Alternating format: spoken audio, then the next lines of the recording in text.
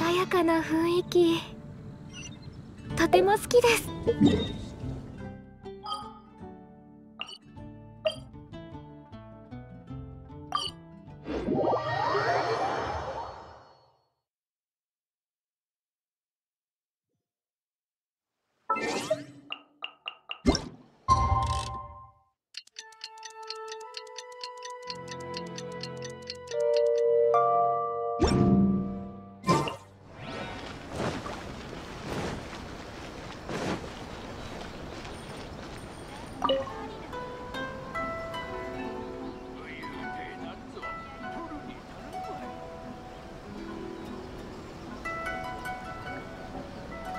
橋田深淵を目指せ。実はつい先日冒険者協会にある特殊な依頼が届きました。慎重に検討いたしましたところやはり旅人が最も適した人選だろ？はいいつもと同じですね。では早速ではありますがこの依頼を引き受けてはいただけませんでしょうか？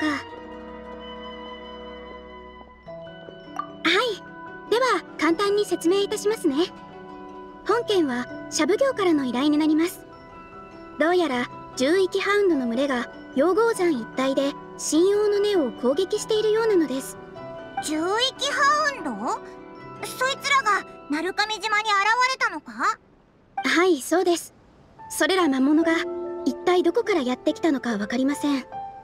ただ今回は群れをなしており規模も大きく目標が明確で非常に攻撃的になっています。信用が稲妻にとってとても大切な存在であることをあなたたちもご存知ですよね。よかったです。ですのでこの件は至急対処しなければなりません。このこと天領奉行の人は知ってるのか？はい。彼らもすでに行動しています。ただ信用の根はとても複雑なもの。獣域ハウンドも神出鬼没で数が多く対処するのが難しい状況でしてそのため彼らは住民を守ることを最優先事項としています。魔物を殲滅するために様々な勢力へと積極的に協力を求めているようです。また本件に対し冒険者協会も力を入れてサポートを行っております。しかし現状各勢力による獣域ハウンドの討伐はまだあまり楽観のできない状況です。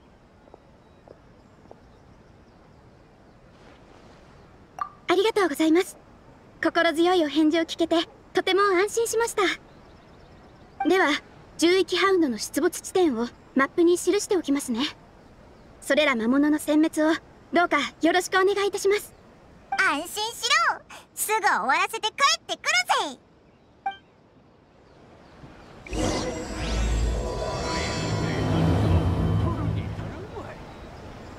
まさかまた神王に関する事件が起こるなんてな。それに神王は花散る佐都さんがずっと守りたかったものだ。それをあの悪い犬たちがめちゃくちゃにしようとしてるなんて絶対に許せないな。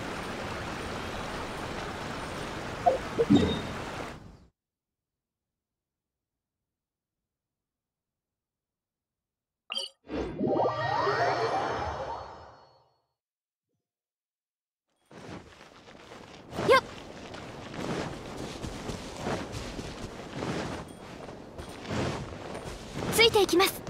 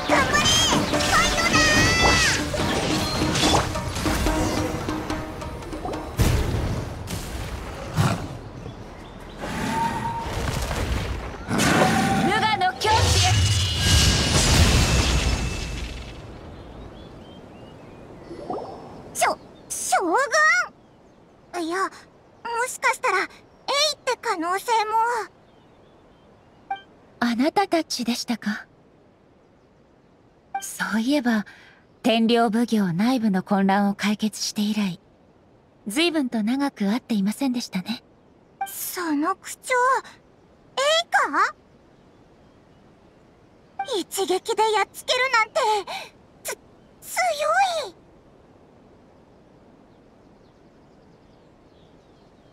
とある用事のためその最初の準備をしていたのです。以前あなたと一緒に稲妻を散策した時今の人々の状況を目の当たりにしました。そのおかげで昔はわからなかった道理をある程度理解することができました。それ以来考え事に行き詰まると心ともなく外に出てみたくなるようになったのです。そうだよな。ずっと同じところにいたら息が詰まっちゃうし。念のため言っておきますがこれは決して娯楽目的ではありませんここ最近私は一心浄土のうちより外界で起きている変化を見てきました。とりわけ最も深刻なのが獣域ハウンドが神王に対して攻撃を行っていることです。これについて私は十分に注意を払うべき一件だと考えました。そこで魔物を追ってここまで来たところこうしてあなたたちと会ったのです。もしこのことに気づいたのが将軍であって私でなかったら放っていたかもしれません。おどうしてだ？人形だったら助けてくれなかったのか？はい。私が人形に定めた規則ではこういった事件は三奉行に対処させるようになっています。しかし獣域ハウンドによる神王への攻撃は私にとって過去に起きたあの災いの記憶を蘇らせるもの。過去に起きた災い？そう。500年前稲妻で起きた大きな最悪のことです。大地は漆黒の霧に包まれ辺りには魔物がはびこりました。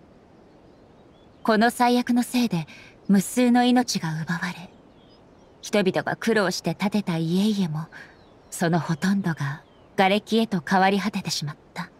魔物は稲妻の地で数々の猛威を振るいました。そしてこの獣域ハウンドこそがその魔物たちの先見部隊だったのです。この魔物の責務は鋭利な牙と爪で空間を切り裂いて道を作りより強大な猛獣を呼び寄せること。どうやらあなたも聞いたことがあるようですね。あれは私が永遠に思い出したくない記憶でもあります。あなたたちからすればこれら生物に対する私の行動は過剰だと思うかもしれませんがしかしやりすぎるくらいでなければいけないことなのです。うーんわかるようなよくわからないような。あなたたちも同じ事情で来たのですから一緒に行動しましょう付近にあった痕跡から見てまだこの辺りには魔物が数多くいるようです。その全てを絶対に殲滅しなければなりません。エイと一緒に行動できるのはなんだかすごく安心感があるな。これが俗に言う強者が一緒にいる時に味わえる優越感ってやつか？ことについて聞いてみようぜ。この色神王が傷ついた時の色に似てるぞ。こっちの方向だ。早く行ってみよう。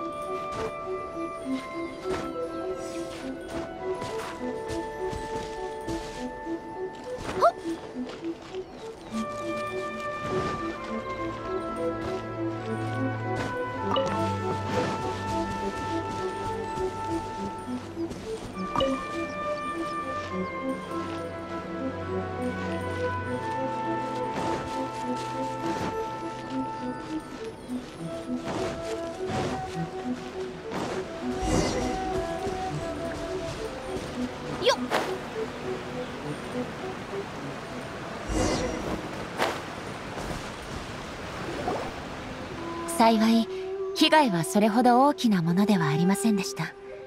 傷ついた神王の手当てはシャブ業に任せればいいでしょう。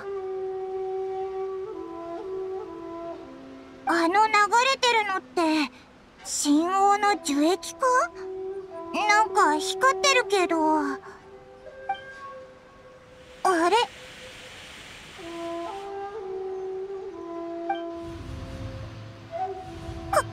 って。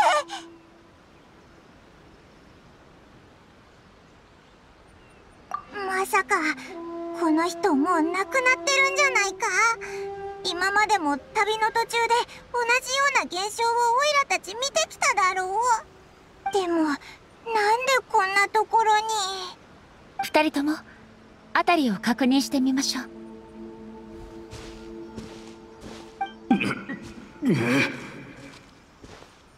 俺はここで倒れるわけには仲間たちのためにも。俺は。おい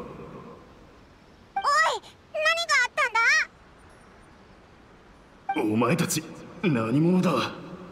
どうしてここに？早く逃げろ！猛獣がまた来るぞ！奴らに目をつけられたらもう逃げられない！俺たちは稲妻を守り最後まで戦い抜かねば。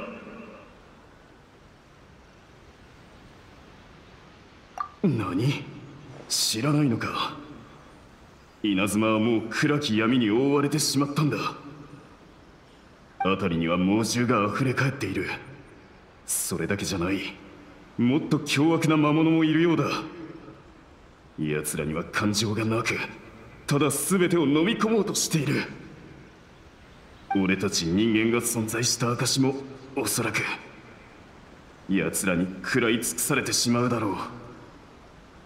でも周りには何もないぞ。まだその時じゃないってだけだ。奴らは必ず戻ってくる。だから早く逃げろ。もう時間がない。今は将軍様も狐西宮様もいらっしゃらない。頼れるのは自分たちだけだ。俺たちがあとどれぐらい持ちこたえられるか俺にもわからない。だがもし希望までも捨ててしまえばそれこそ本当に何も残らないだろう。慌てることはありません。私はここにいますよ。将軍様！お帰りになられてたんです。ねお願いしますどうか我々を助けてください。どうか稲妻をお救いください。あなた様の無情なる来光がなければこの暗闇を払いのけることはできません。このままでは稲妻全部が猛獣の餌食となってしまいます。落ち着いてください。もうあの戦争は終わっています。終わった？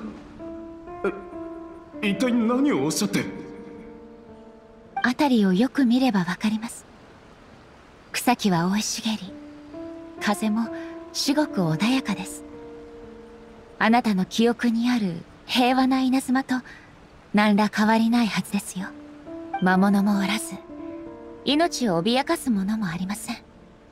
確かに。しかし一体どうして奴らはさっきまで近くにいたのに。つい先ほど私はこの目で見たんです。戦友たちの体が髪のように引き裂かれる姿を。おい落ち着けって。もう大丈夫だ。ああ。そうか。将軍様が稲妻を救ってくださったのですね。将軍様を信じることはやはり最も正しい選択でした将軍様がいる限り稲妻は永遠に安泰でしょう。ありがとうございます将軍様。本当にありがとうございます。どどうしたんだよ一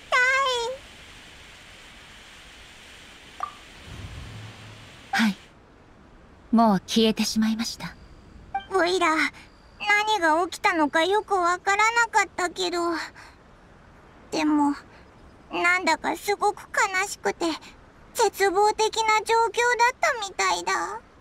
私の考えが正しければ先ほどの一幕はとある物資がこの地に残した記憶でしょ。う神王は地脈から汚れを吸い取って浄化することができます。ハウンドに襲われた樹幹の傷から汚れが漏れ出し凝集して実体になったのでしょう。もし集まったのが凄まじい汚れであれば形成された個体は強い攻撃性を持ちます。そしてその汚れが浄化された時記憶となってそこに現れるのです。浄化された汚れはすぐに散逸し再び地脈へと溶けていきます。言い換えれば彼らは長く存在することができません。つまり過去に亡くなった人たちの記憶が今ここに現れたってことか？その通り。あの兵士も数多くの犠牲者の一人であり彼が言っていたことこそ500年前に稲妻で起きた災いなのです。はい。当時稲妻は数々の危機に直面していました。それは本土に関することもあればすでに滅びた王国カーン・ルイヤに関することもありました。稲妻の災いは私にとって決して看過できるものではありませんでした。すぐにでも私が介入しなければその災いはテイワット全土へと広がってしまう可能性さえあったのです。ただ私の友人である狐西宮は私にこう言いました。周りにある力の全てをもって稲妻を守る責務を担い私の不安を取り除くと誰も口にはしませんでしたが私も彼女も分かっていました。その先にあるのが茨の道であること。をえっとそれってカーン・ルイヤに災いが起こった時稲妻も襲われてたってことか？はい。無数の魔物が突如稲妻に現れたのです狐西宮は人々を守るため自らの命を捧げました。私は彼女の最後を見届けることはできませんでした。けれど彼女は命果てるその瞬間まで私との約束を果たしてくれていた。私はそう信じています。しかしそれでも稲妻の惨状は想像を絶するものでした。あの悲劇はこの大地にそして私の心に大きな傷を残しました。えい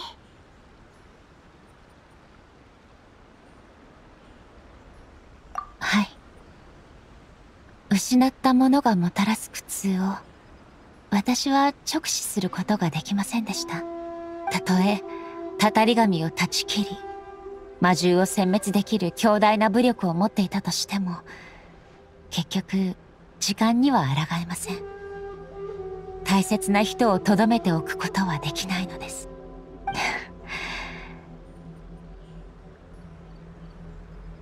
しかし人間の願いを目にしてからは私も色々と考えました。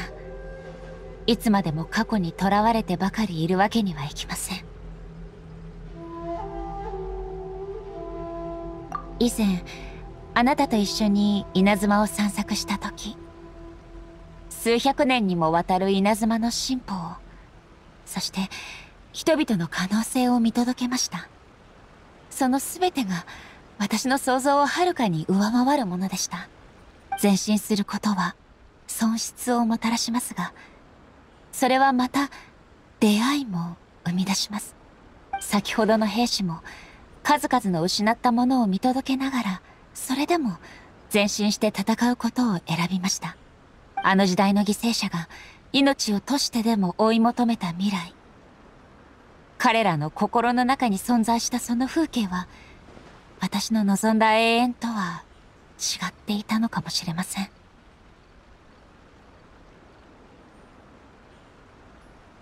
稲妻の神として今こそ彼らの期待に応える時です。かつてその血を流してきた兵士たち。その輝かしい魂はこの大地に眠っています。あなたたちの努力を忘れることはありません。エイの表情がすごく真剣だ。行きましょう。私たちはまだ被害を受けている神王を調査しなければなりません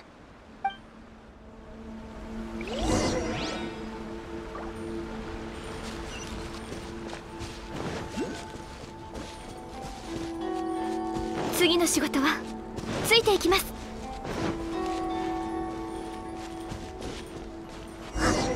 やっぱりここにも樹液ハウンドがいたぞ。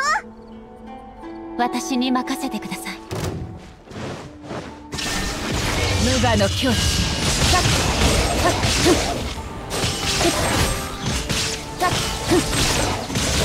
そこ。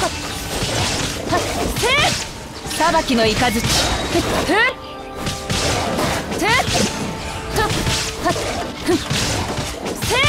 稲光。すなわち永遠なり。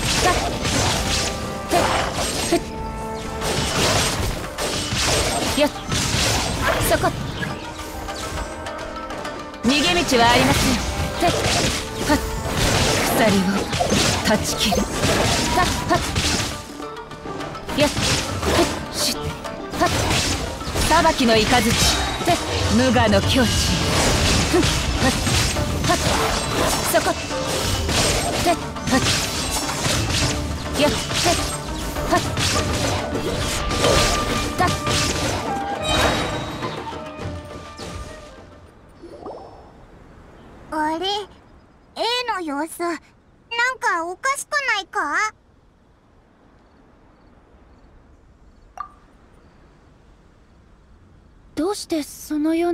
を聞くのでしょう。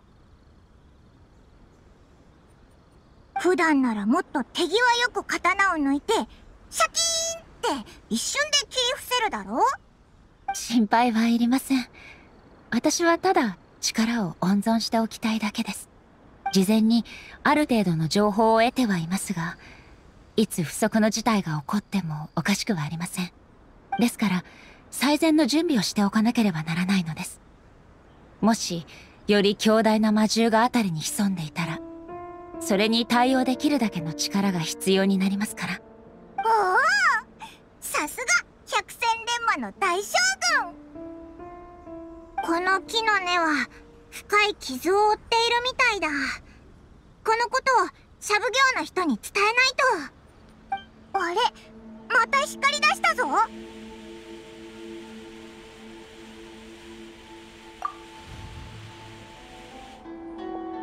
あなたは古山？将軍様。遠方の戦場へとお出向きになられたのでは。どうしてまたお帰りに？遠方の戦場？これも500年前の出来事なのか。私から紹介しましょう。この者は古山。かねてより私に付き従っていた茶人です。古山は目が見えませんが常人をはるかに超える神秘を備えています。彼が入れたお茶は稲妻でも一二を争うものなんですよ。そんな恐れ多い。これはただ将軍様にずっと付き従って得得した特技に過ぎませんよ。ところでお客人をお連れのようですがこのような状況ではおそらく皆さんにまともなお茶をお出しすることはできません。それでもよろしければこちらに座ってしばらくお休みになられませんか。何せ外はもう大混乱ですので。ななあおいらたちどうしたらいいんだろう。えー、っとそうなんだよ。外はもう猛獣だらけで真っ暗なんだ。それに怪我人もいっぱいいて。そうですか。もうここまで攻めてきたのですね。付近の住民はもうほとんど逃げました。彼らはこの老骨も連れて行こうとしましたが私は意味がないと思いここに残ったのです。将軍様がいらっしゃるのですから私が逃げる理由などありません。それにもしこれが将軍様ですらどうしようもないことだったとしたら一体どこに逃げればいいというのでしょ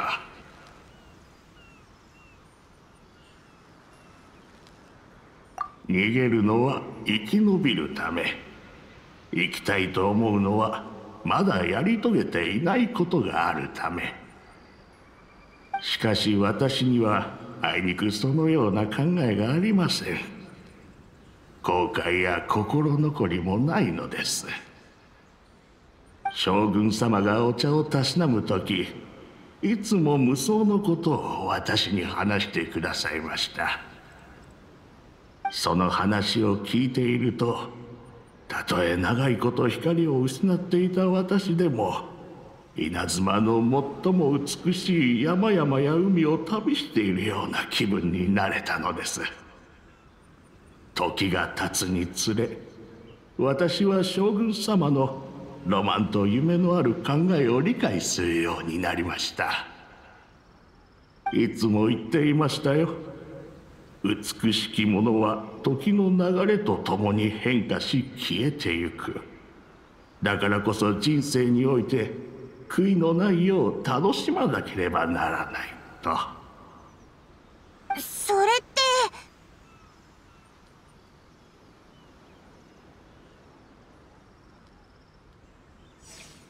私はすでに無数の美しき物事を見てきました。たとえ最悪の今であっても何の不満もありません。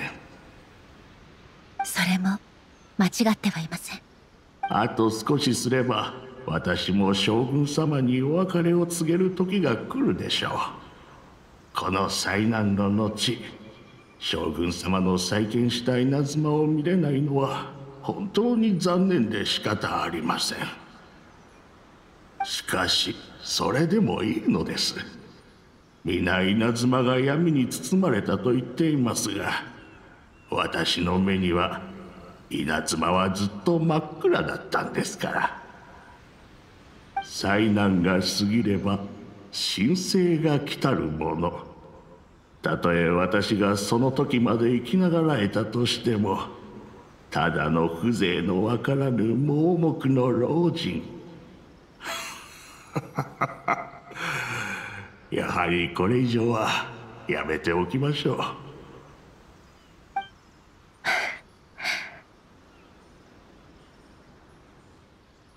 う。おやこれはいけない。自分の話ばかりしてお茶を出してもいませんでした。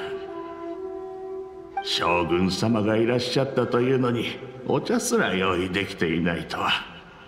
なんと失敬なことを。少々お待ちを。今すぐ。おや茶道具はどこに？もしや他の者がここを離れようとした時どこかにぶつけて割ってしまったのでしょうか。確かに茶道具はどこにもなさそうだな。やはりありませんかいつもはすぐそばに置いてあるはずなんですが。いやはや将軍様と客人方にお恥ずかしいところを見せてしまいました。いえいえ客人に取りに行かせるなんてあまりにも礼儀を書いてしまっております。問題ありません。あなたはここで休んでいてください。私たちがすぐに取ってきますので。将軍様は直々に行かれるのですか？なりません。そんな恐れ多いこと。それに外の戦況も。この場所は複雑であなたの記憶にある茶屋とは大きく異なります。私たちに任せてください。わかりましたまさか将軍様に茶道具を用意してもらう日が訪れるとは。最後の後悔と言いますか最後の幸運と言いますか。まったく。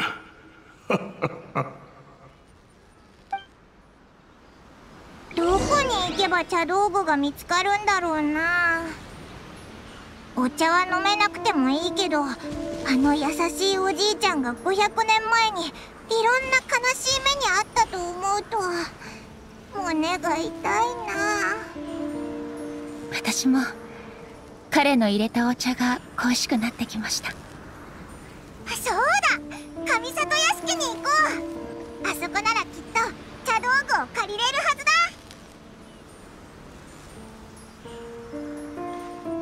目が見えなくなってからは生活もいろいろと大変でしたがそれでも私は立派な茶道家をやってきたつもりです。恐れ入りますがどうかお願いします。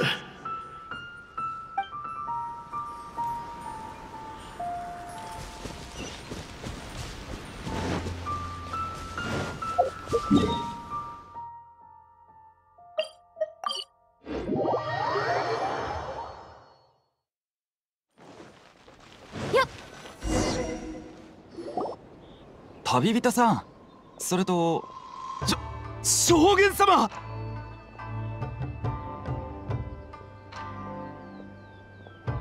将軍様直々にいらっしゃるとはどういったご用件でしょうか？シャブ業にある茶道具を貸していただけますか？あはい。今すぐ準備してまいります。将軍様は中庭でお休みになられていてください。将軍様がいらっしゃったことをすぐに当主様にお伝えしてまいります茶道具は準備が整い次第お持ちいたしますので。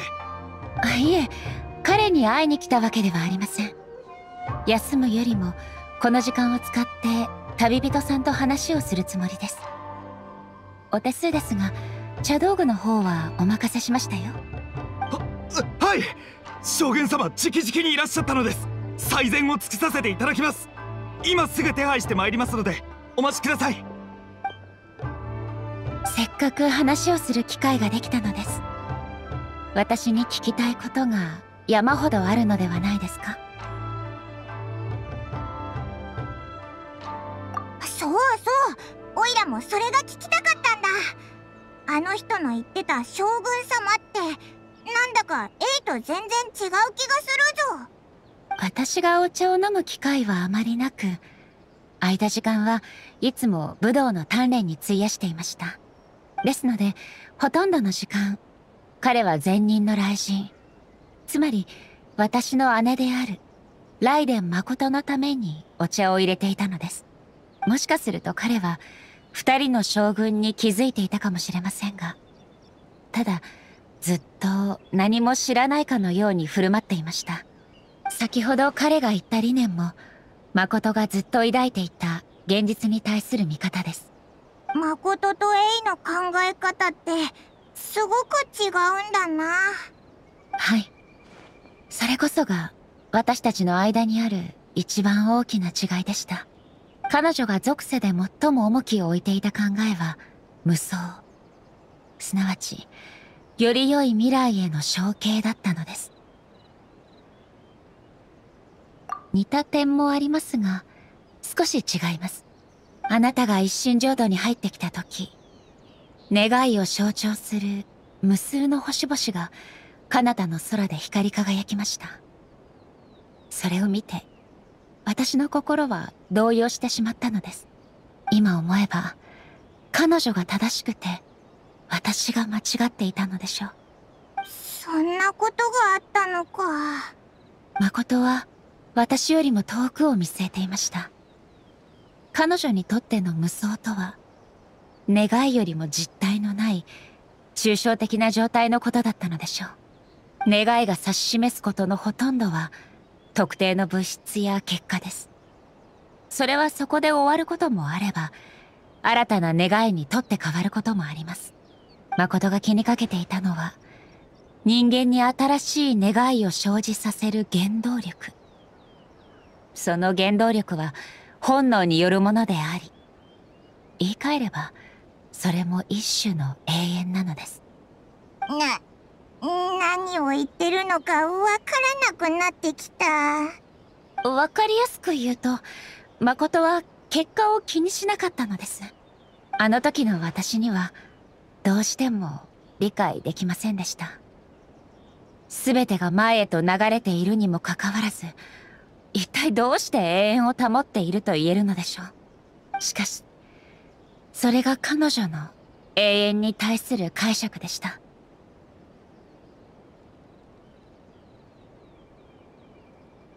はい。以前の私は彼女が何か底知れぬ英知を手にしたからだと考えていました。けれどようやく分かったのです。誠のその考えは一見単純ですがより成熟していて先を見据えた慎重な選択であったのだと。今のエイなら誠を理解できるのか？私の過去の永遠に対する考えはあなたたちも見届けたはずです。今の私はもう失ったものに固執することはありません。私と彼女は分かり合えたと言えるでしょう。将軍様茶道具を見つけてまいりました。この一式が最も将軍様にお似合いかと。ええとても趣のある良い品ですね。ありがとうございます。そそんな将軍様からお礼を言われる日が来るなんて。将軍様は実は話の通じるお方なんだぜ。二人とも戻りましょう。あまり古山を待たせてはいけませんからね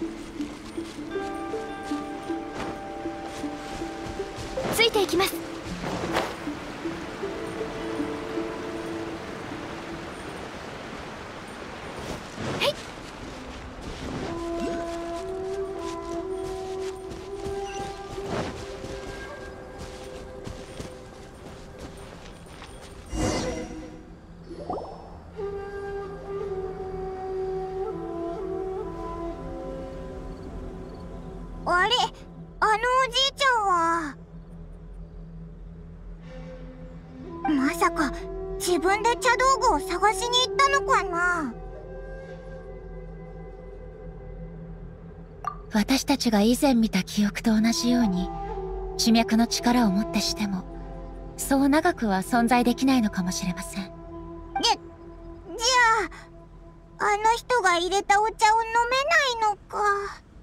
それにさようならも言えてないぞ。地脈の中にある情報はあまりにも複雑で無秩序。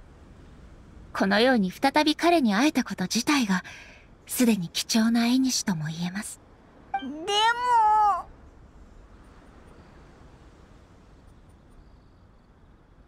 せっかく茶道具もありますし、私がお茶を入れてみましょう。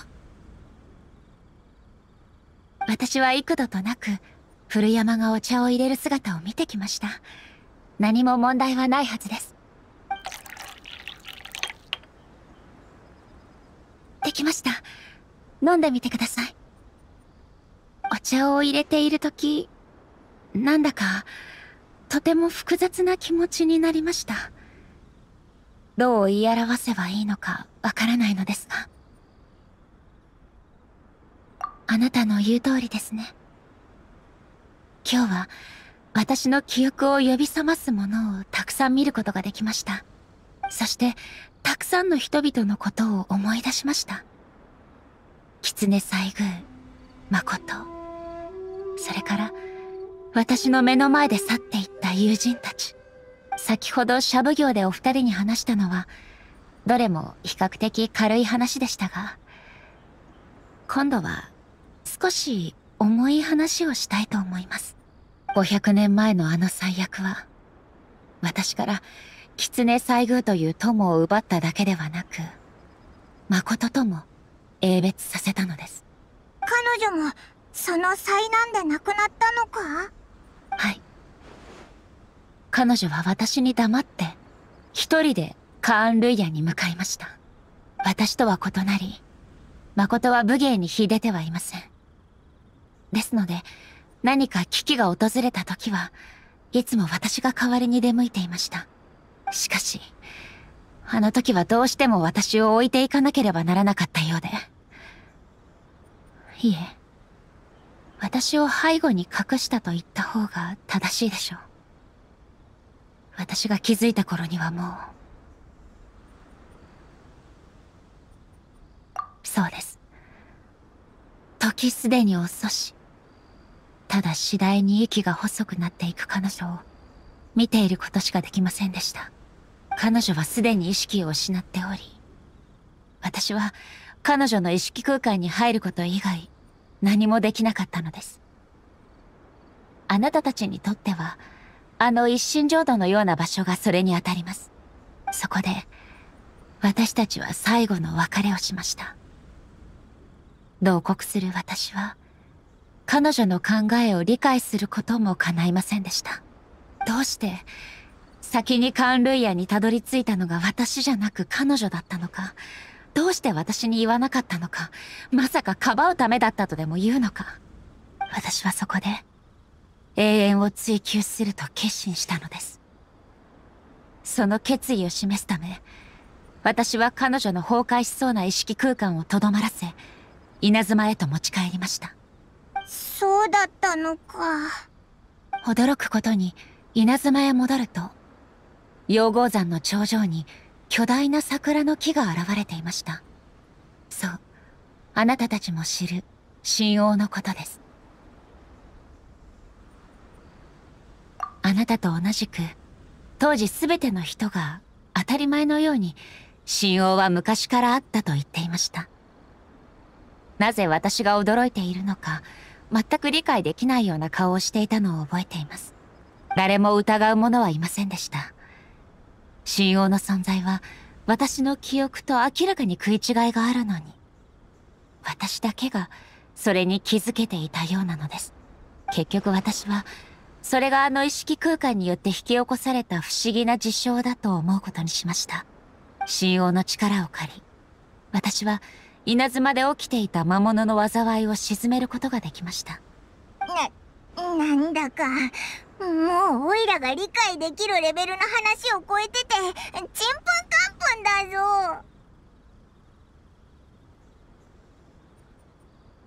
ええ。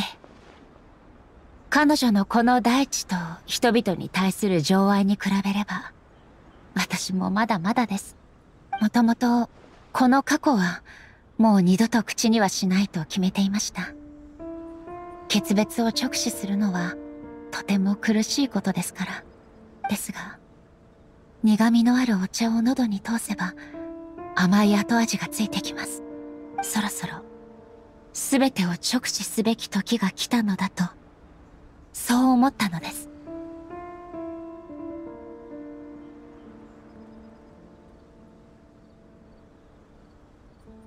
そうだエイはあの戦いを経験したんだろ？だったら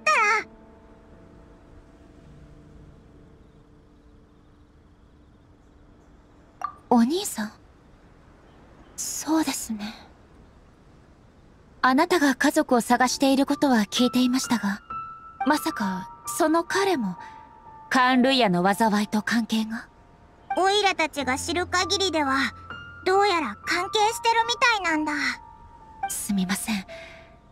私もその全てを直接見たわけではありません。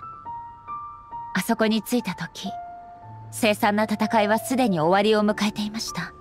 それにあの時私の心は完全に稲妻と親しい者たちの不幸によって埋め尽くされていましたのでおそらくあなたたちの役に立つ話はできません。そうか。残念だな。でも仕方ないか。エイにも同じように悲しい過去があったんだな。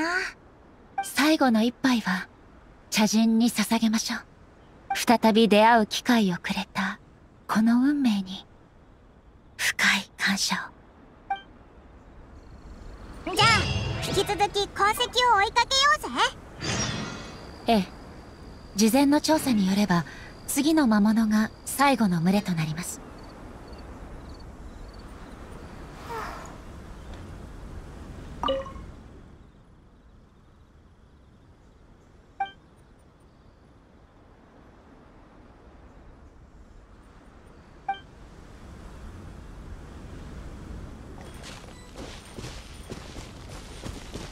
逃げ道はありません。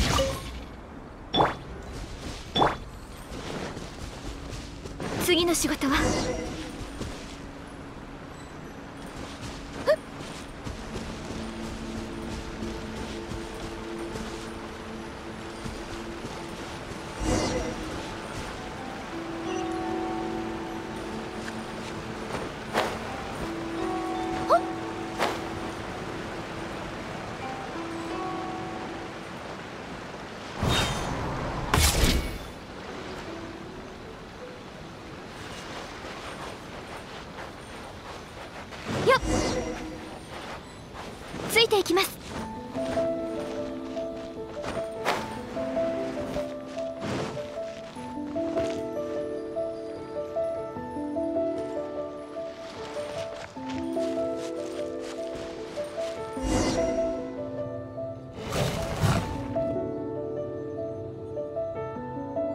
先ほどと同じように私に任せてください。おいおいほ本当に大丈夫なのか？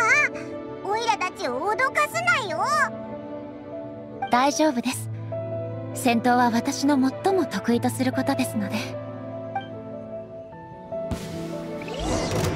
裁きの雷稲光すなわち永遠なり。さっはっストッ。プやっふっさっつひゅっやっはっ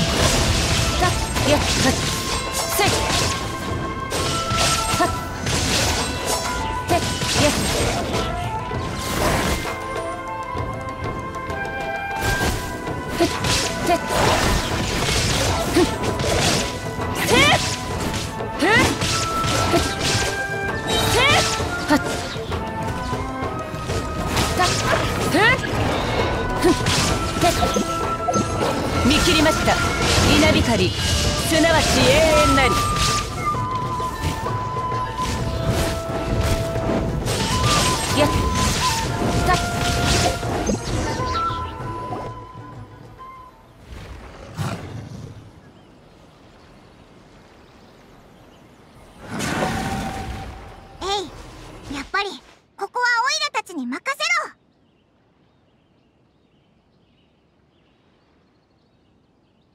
私はすみません。大丈夫だ。エイは後ろで休んどけ。体力を回復しとくんだ。魔物はオイラたちがやっつける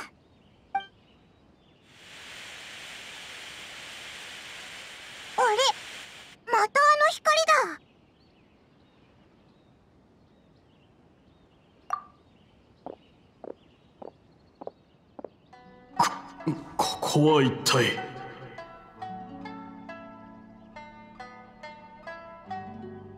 それに君たちは将軍様。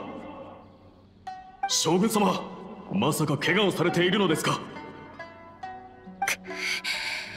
平気です。ただ体が思うように動かないだけで。我ら幕府武士必ずや将軍様を最後まで守り抜いてみせましょうた魔物が攻めてきたぞ。いけません。危険すぎます。これこそ我々の使命です。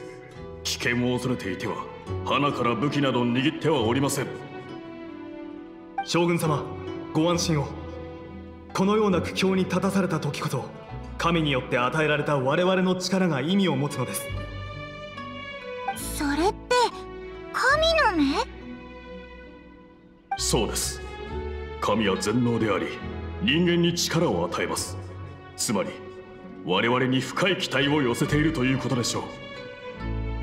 そして将軍様が苦境に立たされている今我々はその誓いを果たさねばなりません。当時戦ってた人たちってどんな風に神の目のことを見てたんだろう。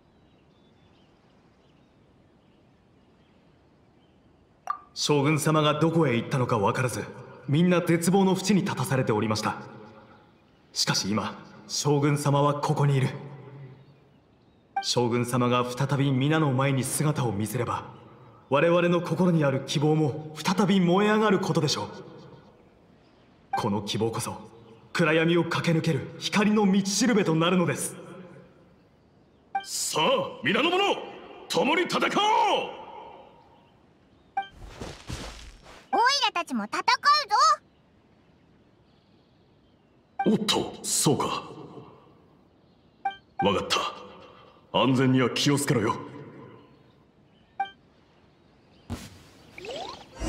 将軍様をお守りしろ。攻撃だせ瑠璃のように落ちなさい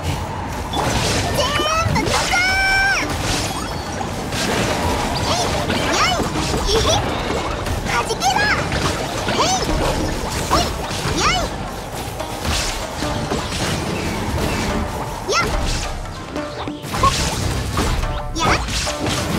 やっほっやっほっみんながそばにここより弱滅の時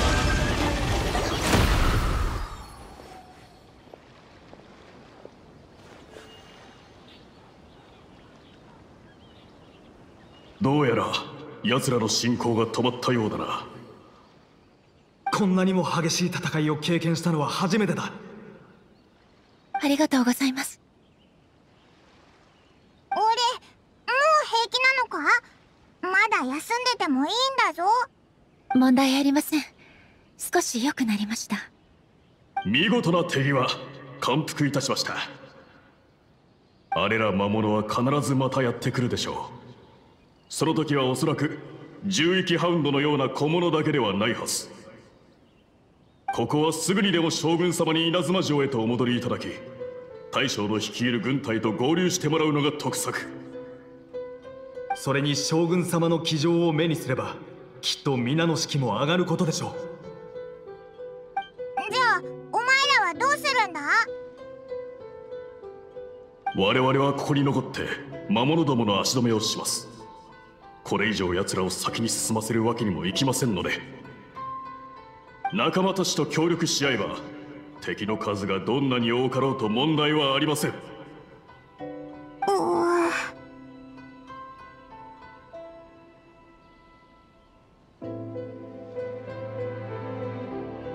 お任せください。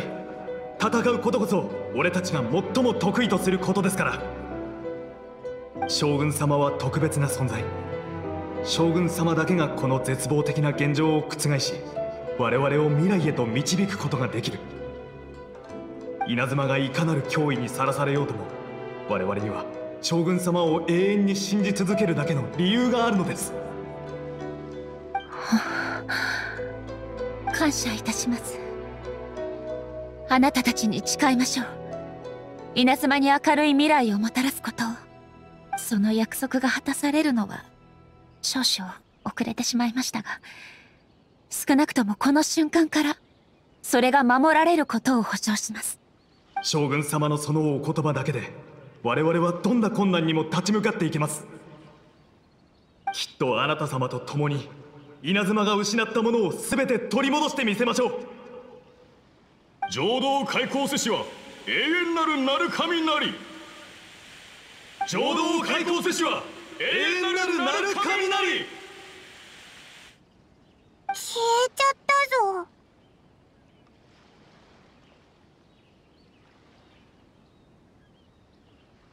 彼らに対してであり私に対してです。人々の犠牲は私に計り知れないほどの苦痛をもたらしました。私は彼らが自身の一切を燃やし尽くす姿と光り輝く姿を無視していたのです。その結果何百年もの間彼らの意志をないがしろにしてしまいました。彼らに何を言っても意味はなく彼らは地脈の中に漂う記憶に過ぎない。たとえそうだとしても私は彼らに今まで私を信じて疑わなかった人々に答えなければなりません。おいら思うんだけどさ思いに応えてくれたのがたとえ何百年後だったとしてもそれでも報われたんじゃないかな。慰めてくれるのですね。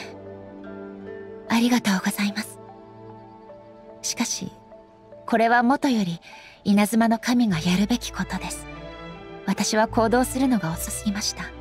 先ほどの武士が言ったように私は戦士の担うべきことを全て引き受けていればいいとだけ思っていました。ですが稲妻に必要なのは誠のような人物です。たとえ私と誠が全く異なっていて永遠に彼女のようにはなれないとしても私のやるべきことは彼女と同じであるべきなのです。ええ。強くてたくましい誇るべき存在です。人々に崇められるライデン将軍が彼らの足を引っ張ってはいけませんね。おどうやら考えがまとまったみたいだな。稲妻には新たな変化と可能性があります。しかしそれと同時に時間も必要なんです。過去が私たちに残した傷跡は未来へと至る時間の中で癒されていくことでしょうどれほど時間を費やすことになろうとも私はやり遂げてみせます。これは私自身が約束したことですから。獣域ハウンドを一掃した今この件も解決へと向かうことでしょう。今のところ奴らがこれ以上の脅威をもたらす気配はありません。原因の究明や傷ついた信用の手当などについては天領奉行か社奉行の者に対応させます。おうじゃあ行こうぜ。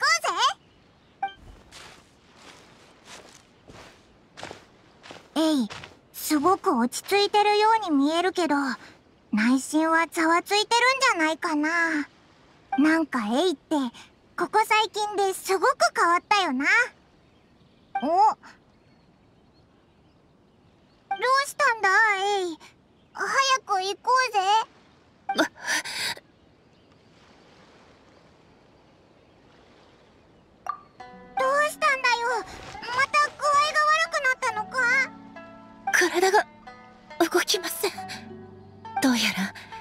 事態は私の思っていた以上に深刻なようです。